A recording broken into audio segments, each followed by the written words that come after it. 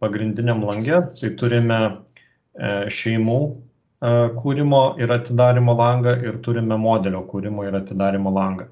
Tai pagrindę mūsų kursą mes šeimų kaip ir neredaguosim, nekursim, čia labiau jau turbūt vėlesniuose kursuose.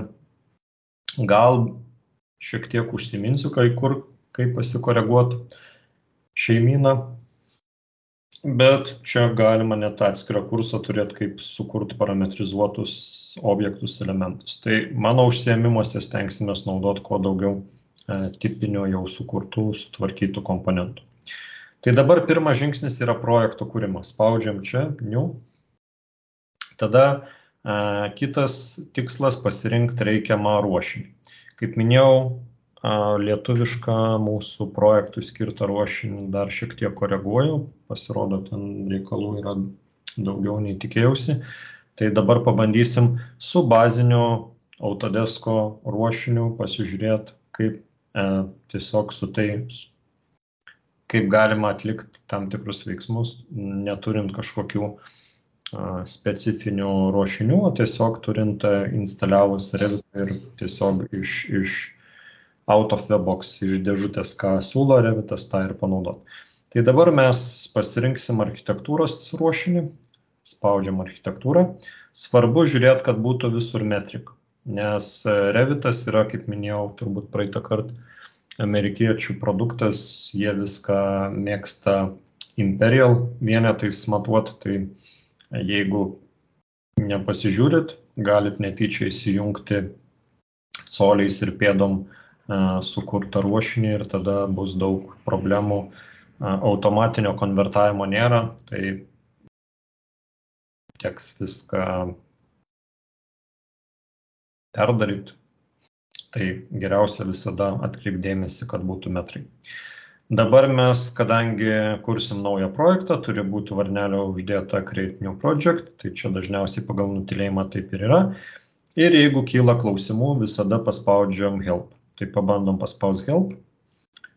Ir praktiškai bet kuriam žingsnėje yra šalia mygtukas Help ir turėjo atsidaryti pagalbos langas naršyklėje ir tenai paaiškina, kaip ką daryti, ką spaust, kur eiti ir taip toliau. Atsidarė? Taip. Jo. Tai dabar mes spaudžiam OK. Tai visada, jeigu užsimirštat, kažkur dėstytojas įrašė video pamokas, pamiršot, praėjo keli mėnesiai, reikia atsiminti, visada spaudžiam helpą ir viskas e, atsidaro ir viską lengvai paprastai galim išsistudijuoti. Tai dabar e, pagrindiniai darbo įrankiai išrikiuoti yra viršui įrankiai yra suskirstyti į kategorijas. Tai turime įrankius architektūrinius, konstrukcinius, e, plieno, betono, sisteminiai įrankiai. Toliau, jeigu kažką norime įkelti savo projektą iš išorės, spaudžiam insert. Jeigu norime pridėti matmenų arba anotuot, kaip būtų lietuviškai.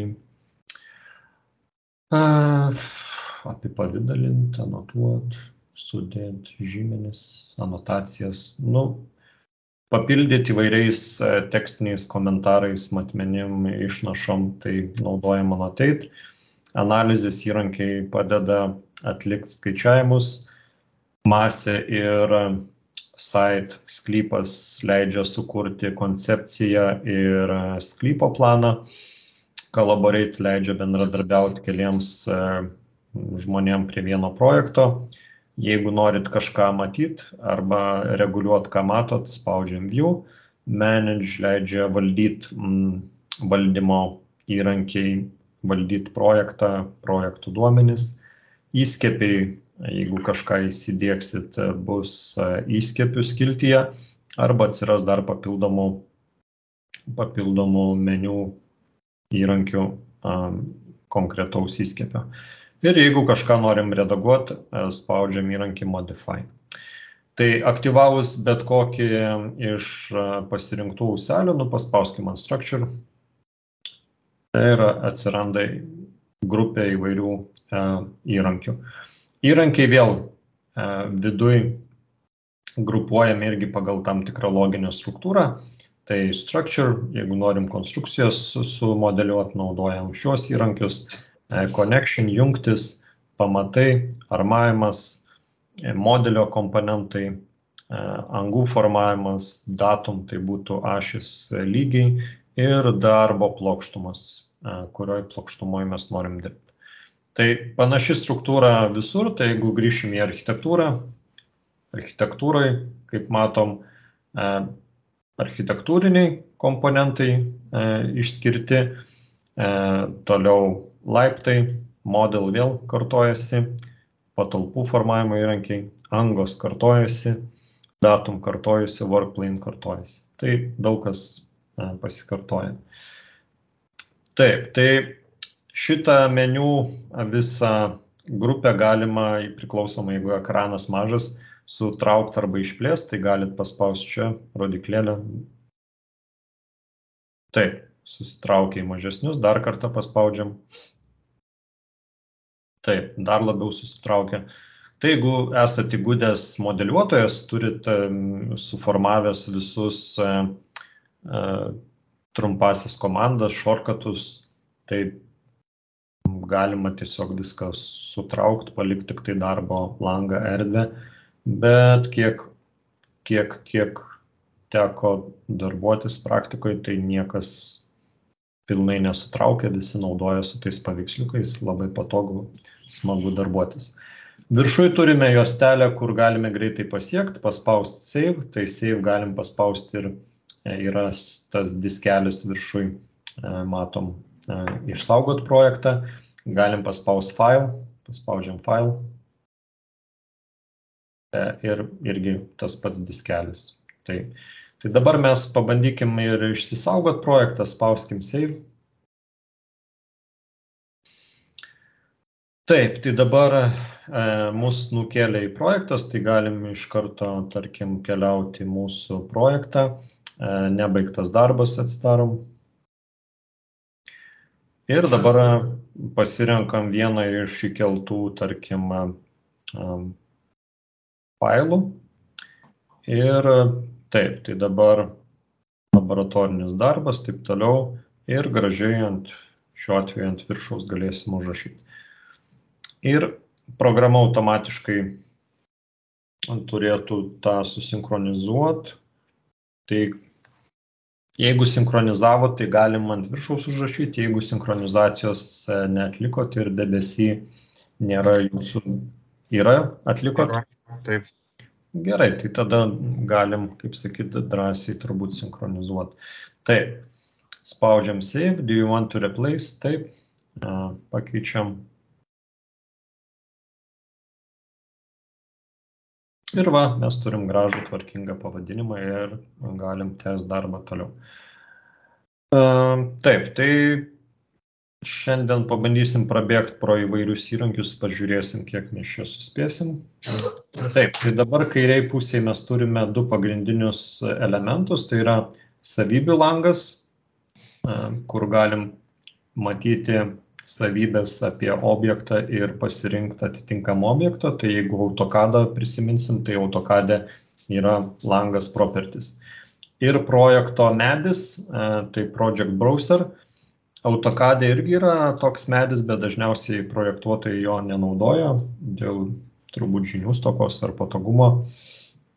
E, tai Taip pat dirbant su AutoCAD, tas projekto medis dalinai yra integruotas AutoCAD, dalinai mes naudojam kaip projekto medį Windows Explorer. Tai reiškia tiesiog Windowsuose atsidarę e, aplanką ir jame susikūrėm atitinkamą projekto struktūrą, aplankus ir taip toliau. Tai Revito privalumas tas, kad e, mum tam tikrą aplankų struktūrą sukuria sukuriama yra pačiam projekte. Tai paspauskim minusiuką. Tai dabar jeigu pažiūrėsim į tą aplankų struktūrą, kuri čia sukurta, paspauskit ant to minuso. Taip, tai turim pagrindinius aplankus. Tai views būtų vaizdai. Dažnai, kas dirba su autokadu, mėgsta susikurti vieną kado failą ir tame kado faile sukuria ir vaizdus, ir lapus, ir brėžinius, vis, visą projektą vienam failę sudeda. Bet pagal Autodesko visus helpo instrukcijų vadovus ir, ir, ir, ir turbūt taip kaip suprogramuotas autokadas, tai e, turėtumėm kiekvienam atskiram vaizdui kurti atskirą DVG brėžinuką. Tai šiek tiek nepatogu, bet e, bendroji projekto duomenų struktūroje, projekto valdymui, tai yra atsiranda tam tikras patogumas, nes lengviau duomenis e, kontroliuoti, valdyti ir taip toliau. Tai ta pačia struktūra ir čia yra. Tai kiekvienas vaizdas atskiras ten ar planas, pjūvis, fasadas, detalė, kažkoks mazgas, viskas keliauja į jūs. Toliau kita skiltis aplankas yra legendos. Tai legendos yra mm, paaiškinimai, kuriuos mes talpinam brėžinio dešiniam kampe arba brėžinio pačioj ir mm, paaiškinom, kaip taisyklingai skaityti brėžinį. Toliau kiekių žiniaraščiai. Tai jeigu dirbam su AutoCAD, tai dažniausiai kiekius turbūt skaičiuojam su Exceliu ar kokiam kitom priemonėm. E, šiuo atveju galim sakyti, kad Excelio skaičiuoklė integruota į Revitą ir e, galime tiesiai iš mūsų modelio ištraukti įvairius kiekius. Toliau lapai, sheets. E, jeigu dirbam autokadu, tai turėtumėm kiekvienam lapui sukurti atskirą DVG brėžinį ir kiekvieną vaizdą įkelti brėžinį naudojant XREF arba mm, ryšio priemonės, e, įlinkinant, įkeliant į lapą tos elementus. Kaip minėjau, praktikoje dirbantis autokadu taip nedaro turbūt prašiausias variantas, kai modelio erdvė ir lapą nusipaišo ir, ir, ir, ir planus ir viską tenai suskeilina su masteliu ir taip toliau ir padaro tokį hybridą. Šiek tiek geresnis variantas, kai naudoja AutoCAD funkciją layouts, tai lapus sudėlioja į, į layoutus ir tada e, padaro nuorodą į modelio erdvę ir, ir, ir lape atvaizduojama reikiama informacija. Ir teisingas darbas būtų, arba taip kaip numatytas programos kurėjo, tai naudoti Sheetset Manager ir e, lapus ir vaizdus valdyti per e, projekto lapų valdymo įrankį. Taip, toliau turime aplanką families, tai čia sudėti mūsų projekte esantis įkelti komponentai. Tai jeigu analogija būtų su kitom programom arba autokadu, tai būtų blokų biblioteka. Tai turbūt, jeigu tekia matyti autokadai, yra įvairūs suformuoti elementai kaip blokai, tai galima tenai e, juos įkeliant irgi sutaupyti laiko. Toliau grupės, grupuojami tam tikri pasikartojantis elementai e, ir jų sąrašas čia atsiranda ir toliau, jeigu iš išorės įsikeliam architektūrą ar, ar, ar kitą e, projektą, galime įsilinkinti savo projektą, naudot kaip kalkę arba e, kelis projektus sulinkinti vieną projektą ir, ir atlikti tam tikrus irgi veiksmus. Pavyzdžiui, vienam projekte formuojamas modelis, kitam projekte mes formuojam tvarkingą bylą, brėžinius ir taip toliau. Tai į centrinį projektą sulinkinami visi kiti e, modeliai ir galime tvarkingai tą sutvarkyti. Dabar darbo eigai rekomenduoju e, šias dvi lenteles pasistatyti vieną šalia kitos, tai e, paspaudžiam ant properties ir traukiam į šią vietą, kol atsiras e, mėlynas kvadratėlis. Ir tada paleidžiam ir turėtų prisikabinti šonę lygiai grečiai su kraštu. Taip, tai dabar traukiam už properties, dabar čia atsiskiria langas, stumiam į šią vietą. Taip turi būti. Mėlynas langas dabar atsirado biški man pastrigo, aš nematau. Jo, taip. Tai dabar patogiau bus skaityti informaciją, nes laukelių daug ir taip toliau.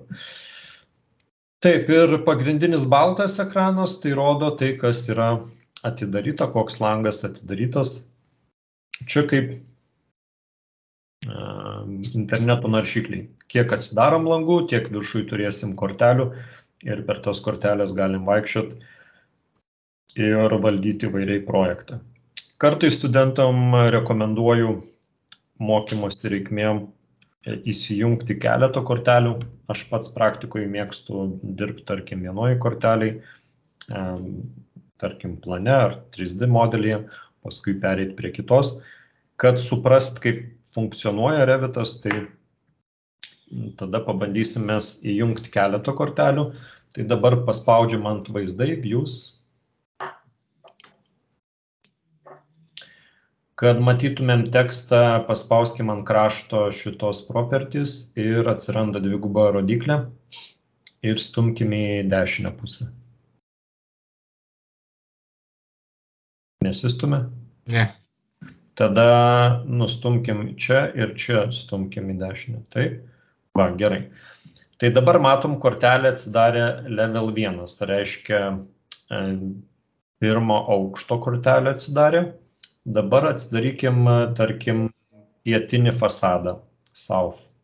Du kartus paspaudžiam ant pietinio fasado. Taip, tai čia matome pietinį, tarkim, fasadą. Dar patraukim tada į dešinę pusę šiek tiek. Taip, tai dabar turime planą, fasadas galima traktuoti kaip pjūvį ir dabar mums reikia 3D vaizdo. Tai 3D vaizdą galim susikurti viršui namuką paspaudžiam. Yra ir kiti būdai. Taip, tai trys vaizdai yra. Ir kad supras, vat, atsirado papildoma, matom, skiltis, paspauskim pliusiuką.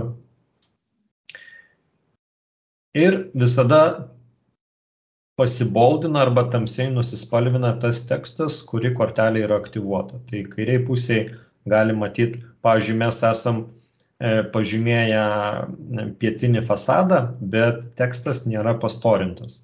Tai reiškia, e, jisai nėra aktyvus. E, aktyvi kortelė rodo pastorintą tekstą. Jeigu du kartus paspausim ant South, matom, kortelė aktyvavosi ir tekstas nusispalvino patamsinta spalva. Tai tokiu būdu galima šokinėti per korteles arba dešiniai pusėje paspaudžiam čia esantį trikampiuką ir galim irgi per korteles šokinėti. Jeigu tų kortelių atsidaro labai daug, galima per jas šokinėti ir, ir tokiu būdu. Pasirenkam, pavyzdžiui, level 1. Taip, kitas būdas, taip, rekomenduojama prisižiūrėti, kad tų kortelių neprisidaugintų per daug, nes apkraunama kompiuterio atmintis ir, ir, ir kiti resursai. Tai karts nuo karto rekomenduojama e, išsivalyti tas korteles, tai galima rankiniu būdu uždarinėti X-iuką arba viršui paspaudžiam e, raudoną X-iuką ir kortelės užsidaro, lieka tik tai aktyvi kortelė. Tai pastumėm e, vėl šitą, nenori jisai užsifiksuoti. Dešinė, taip. Ir pakartotinai paspaudžiam 3D vaizdas du kartus ir pietinis fasadas ir 3D vaizdą. Du kartus. Mhm, kažko tai man.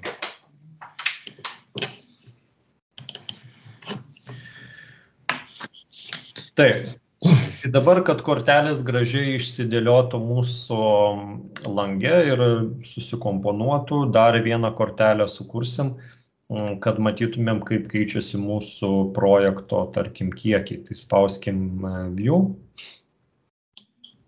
spauskim schedule, schedule quantities. Pasirinksim multimaterial category, tai Revite visi objektai yra suskaidyti į kategorijos, tai kiekvienas elementas priskiriamas tam tikrai kategorijai.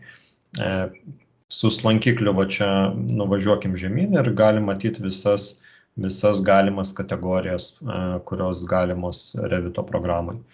Tai ir elektra, ir grindis, ir stogai, ir, ir, ir, ir, ir sienos, ir langai, ir daugybė, daugybė įvairių kategorijų.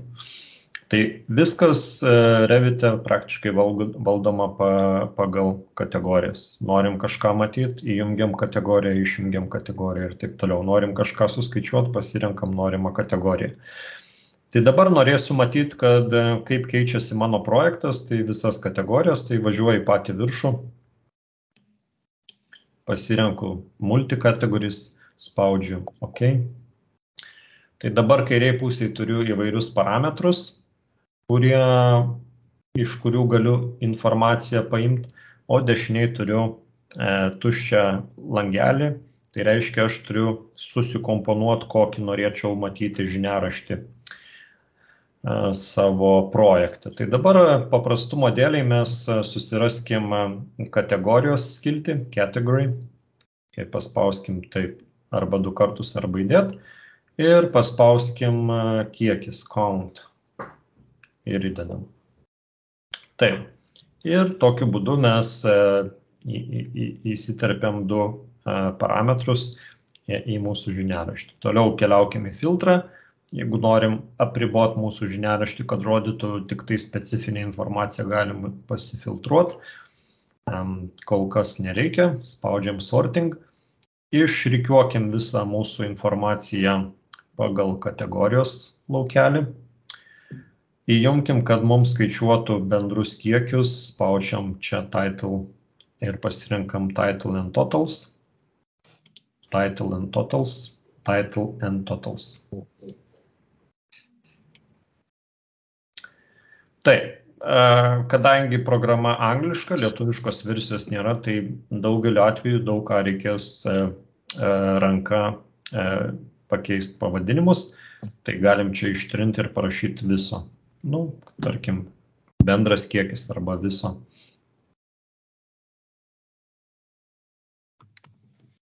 Taip.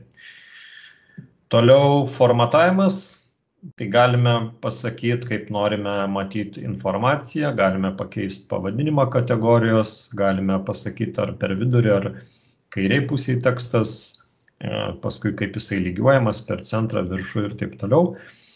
Toliau galime tą laukelį paslėpti, galime atlikti skaičiavimus, tai dabar mums e, pasirinkim count ir pasirinkim, kad norim suskaičiuoti bendrą kiekį. Calculate totals. Appearance Čia dar papildomi įrankiai, kurie leidžia matyti, valdyti, kaip atvaizduojama lentelė. Tai uždėkim, kad būtų blank. E, išimkim tarpą. E, šitos vietos nereikia. Nuimkim varnelę. Taip. E, taip, show stripe rows on sheet. Stripe row. Gerai, toliau galima tekstą pakoreguoti ir taip toliau, tai kol kas palikim viską pagal nutilėjimą ir spaudžiam OK. Taip, tai dabar matom lentelė yra tuščia.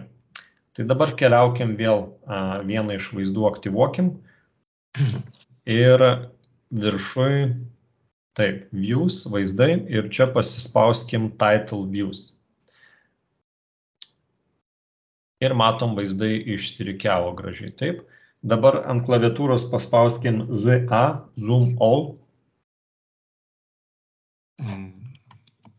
Ir matot, e, visuos, visi vaizdai buvo išdidinti, kad matytumėt visą informaciją. E, rekomenduoju po truputį pasižymėti, užsirašyti, kokios galimos greitosios komandos ir turėti lapelį prie savo darbo vietos, prie ekrano, kad reguliariai visada po truputį bandytumėt greitąją komandą e, naudot. E, kaip greitosios komandos e, galima susirasti, kokios jos yra. Tai yra nuorodų ir mano mokymo medžiagoj, bet paprastuoju būdu užvedam kursorių ant kortelės ir kortelė atsidaro ir prie kortelės pavadinimo matom title views yra skliausteliuose raidžių kombinacija. Matot? Taip. WT. Tai reiškia, kad mm, galim išbandyti. Tai dabar čia paspauskim TW su klaviatūra. TW paspauskim. Matom, išdidino mum vieną kortelę. Dabar atvirkščiai WT paspauskim. Išdidino, kaip sakyti, išdėliojo visas kortelės iš šonus. Ir užvedus ant kortelės mes e, paliekam kursorių, palaikom. E, pradžioj parodo trumpą paaiškinimą, ką su kortelė galima daryti. Toliau išsiskleidžia platesnis paaiškinimas. Ir vėl, jeigu norim e, šiek tiek daugiau informacijos, spaudžiame F1. Paspauskite F1 ir jums atsidarys pagalbos langas, kuriame bus paaiškinta, kaip naudotis kortelę.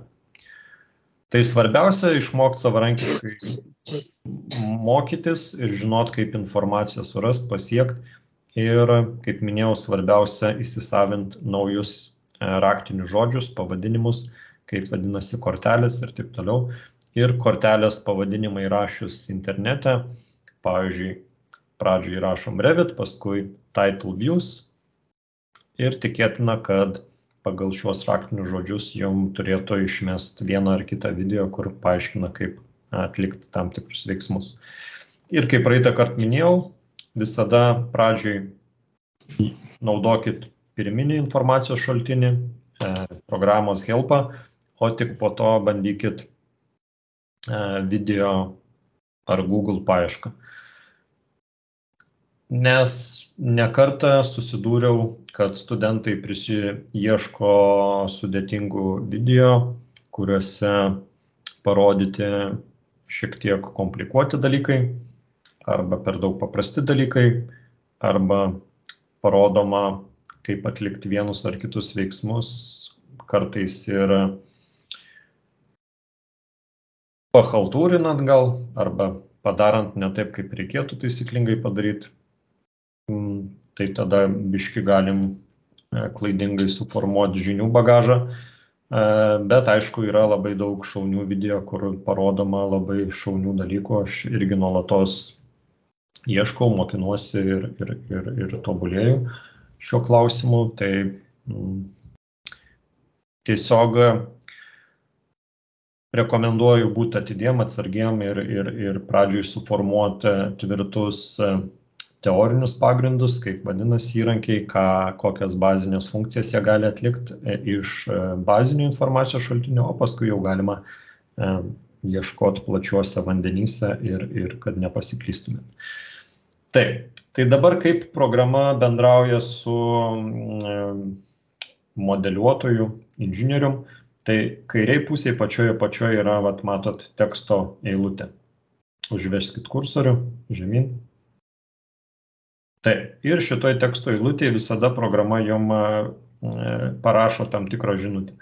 Tai visada reikia paskaityti, ką, ką programa čia rašo. Jeigu aktyvuojat kokią komandą, visada šitoje pačioje vietoje bus e, pateiktas patarimas ar kitas žingsnis, ką reikia padaryti. Pavyzdžiui, click to select, tab for alternates, control, adds, shift and selects. Nu, tai čia rašo, kad uh, norint kažką pažymėti, su, su mygtuku tab mes galime pakeisti žymimą objektą kitu objektu. E, jeigu norime pridėti objektą prie pažymėto objektų, naudojam Ctrl e, mygtuką ant klaviatūros. Jeigu norime išimti objektą iš mūsų pažymėto objektų, spaudžiam Shift.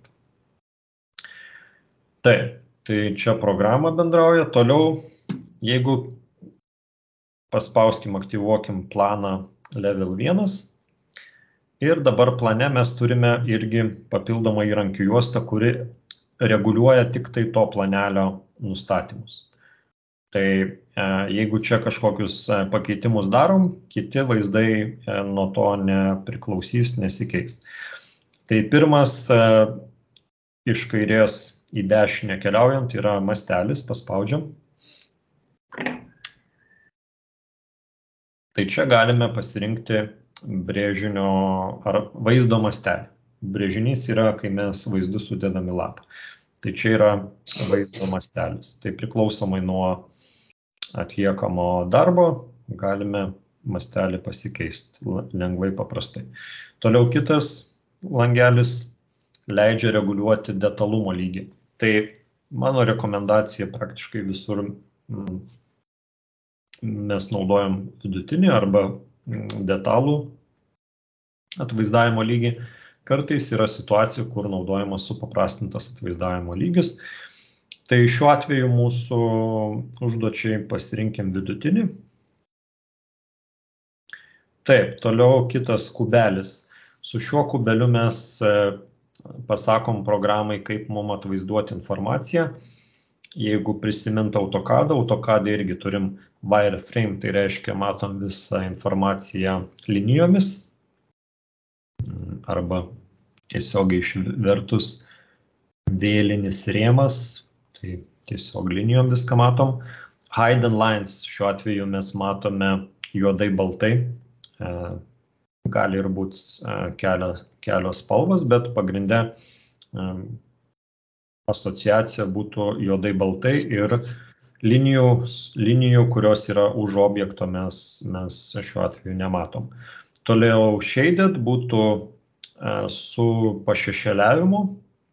Inžinieriams nerekomenduoju naudoti su pašešėliavimu, čia labiau architektams E, ir dažnai kyla problema, jeigu naudojami vaizdai 3D ar kiti su pašešėliavimu, eksportuojant e, PDF-us ar kitus brėžinius į kitais formatais e, informacija gali būti konvertuota ne į vektorinę grafiką, o į rastinę. Tai vietoj vektorinės grafikos, kur mes išlaikome linijų kokybę ir brėžinio kokybę, E, rastinis paveiksliukas e, tokiu atveju būna sudarytas iš pikselių ir, ir, ir kokybė dažnu atveju būna prarandama.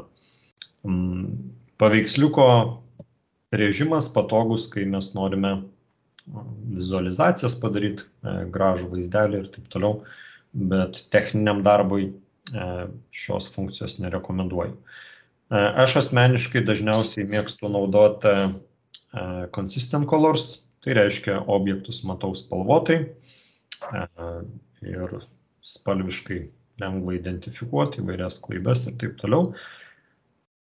Ir kartais matau, kad studentai besimokydami mėgsta naudoti realistinį vaizdavimą, tai šiuo atveju programa dalinai surenderina arba padaro uh, E, realistinį vaizdavimą, jeigu priskirta tekstūra, medžiaga objektui, tai jis atvaizduojamas taip, kaip atrodytų realybėj. Jeigu priskiriam betoną ar, ar, ar, ar kažkokią kitą medžiagą, matome realistiškai tą medžiagos tekstūrą. Aišku, realistinis vaizdavimas šiek tiek daugiau reikalauja kompiuterio resursų, tai norint sklandžiai ir efektyviai dirbti, realistinį vaizdavimą rekomenduočiau rečiau naudoti Jeigu mašina galinga ir projektas nėra labai didelis, tai galit, kad ir visą laiką su realistiniu vaizdavimu darbuotis. Taip, tai aktyvuokim tada consistent colors.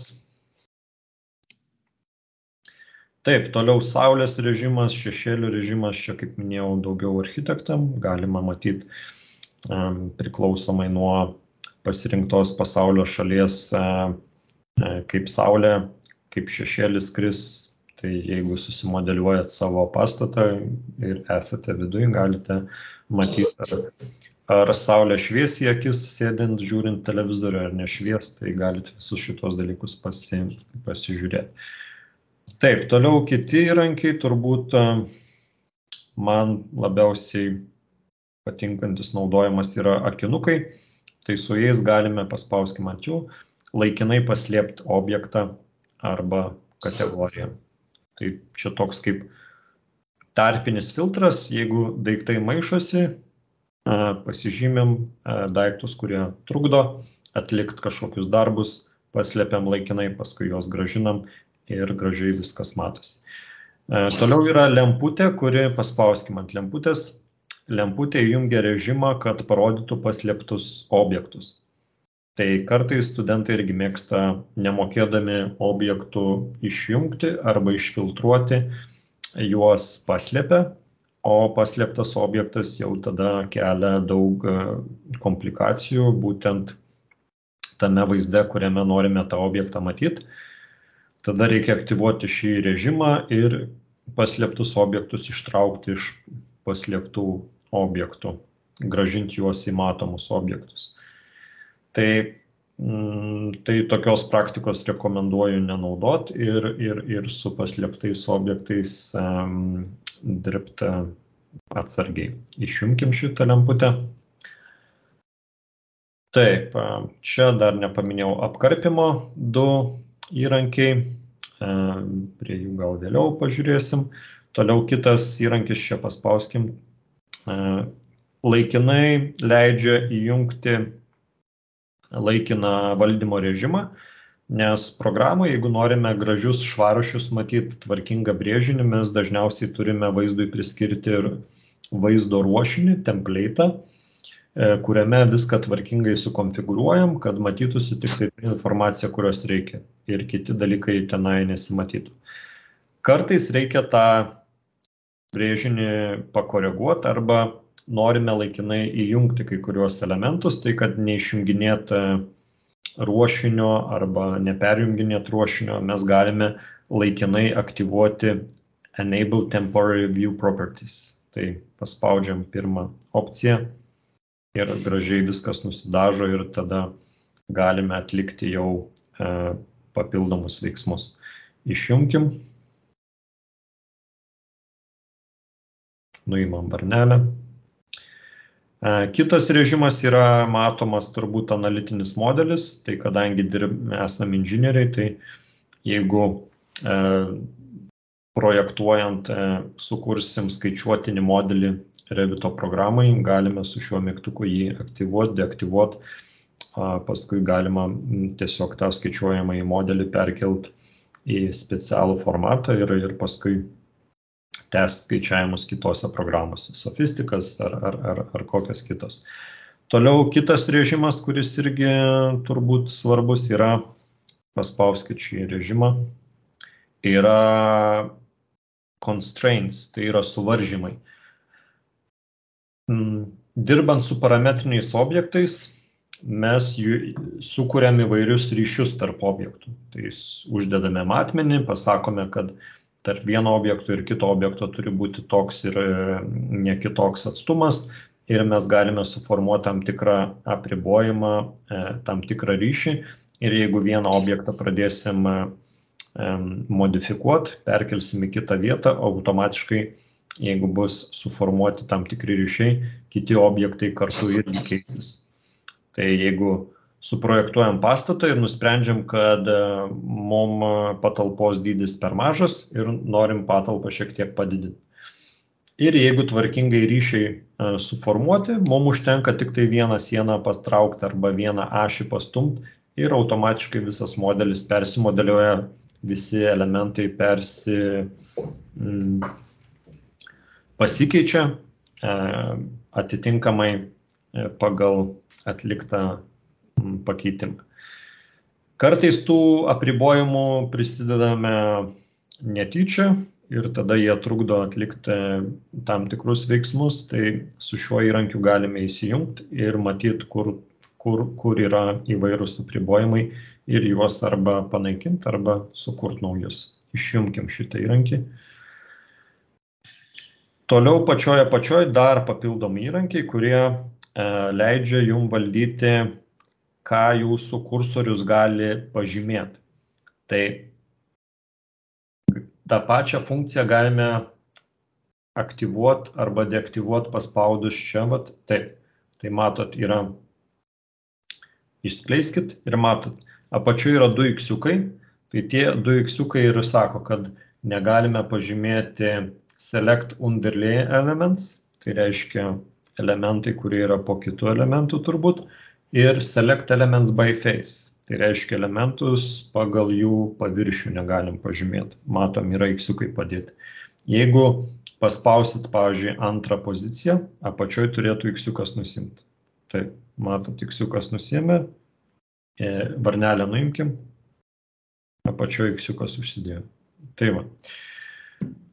Ir paskutinis turbūt toks filtras. Tai su filtru galime išsifiltruoti įvairius objektus, kuriuos mes pasižymėm. E, jeigu pasižymėm per daug objektų, galime su filtru paprašyti programos, kad mums išfiltruotų ir paliktų tik tai tuos, kurių reikia. Taip, tai bendras toks intro